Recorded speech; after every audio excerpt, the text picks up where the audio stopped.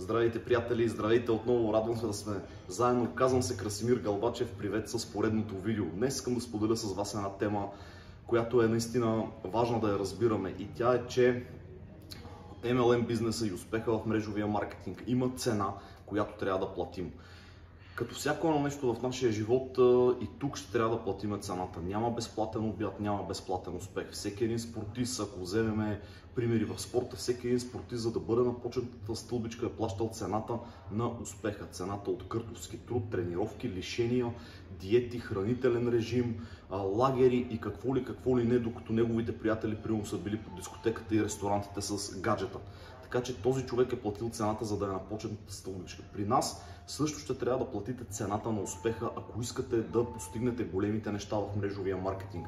Но цената, която трябва да платиме не е толкова висока. Въпросът е, че някой път ние приемаме всяко нещо като спирачка и това ни спира. Какво имам в предвид? Цената на отказите, която да платиш. Цената на това, че може би ще има хора, които ще ти се смеят, че се занимаваш с този несериозен бизнес Цената на успеха за това, че примерно ще има партньори, които ще стартират, пък ще се откажат, пък за някой ще се залагал много, че има огромен потенциал, а той нищо не е направил.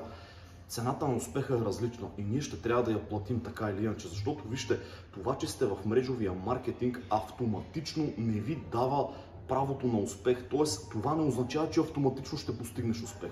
Това, че си в мрежовата индустрия.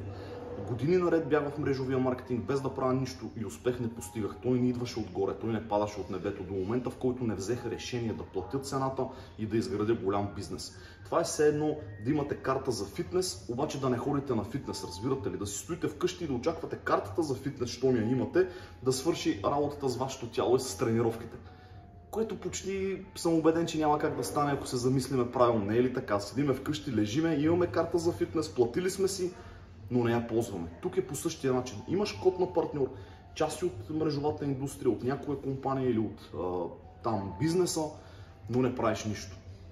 Защо не правим, защо се спираме? Именно защото имаме всички такива страхове, имаме неща, които не спират, така че платете цената на успеха. То не е безплатно, не е нещо, което а, така идва отгоре. Трябва да се потрудим, трябва да а, платиме всичко, което ни изниква по пътя, като ситуации най-вече. Ако щете, дори вижте цената на успеха и от гледна точка на това да купиш книга, това е да платиш цената на успеха, да я прочетеш, да я приложиш, това е да инвестираш в твоя бизнес, да отидеш на семинар, може би ще се наложи да пропуснеш любимото ти ТВ шоу или мача по телевизията до вечера, защото има семинар в твоя град или има онлайн обучение, на което е добре да присъстваш, но по същото време приятелите те канят на ресторанти на Ахо, Ихо, Чикирики. Не знаеме. Това е да платиш цената на успеха. Естествено, пак казвам, най-различни ситуации. Дали партньор ще се откаже, дали друг ще се демотивира или нещо ще стане. В крайна сметка не знаем. Но, когато започнем да разбираме същността на бизнеса, когато започнем да освояваме принципите и сме взели решение, че ние ще успеем в този бизнес, всички, всичката тази цена, всичките тези ситуации, те спадат надолу.